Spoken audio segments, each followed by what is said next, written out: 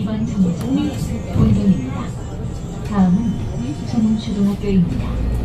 승객 안전을 위해 손잡이를 꼭 잡아주시고 버스가 전체면에 완전히 후 승하차 하시기 바랍니다.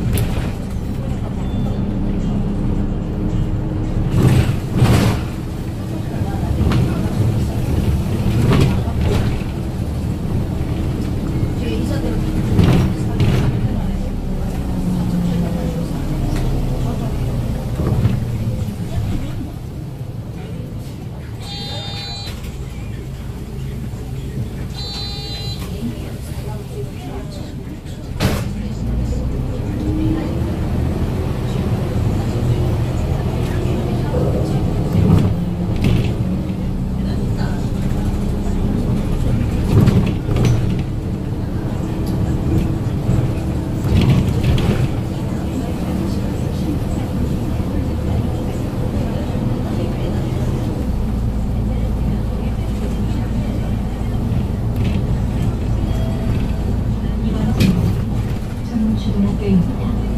다음은 반성초등아파트 입구입니다.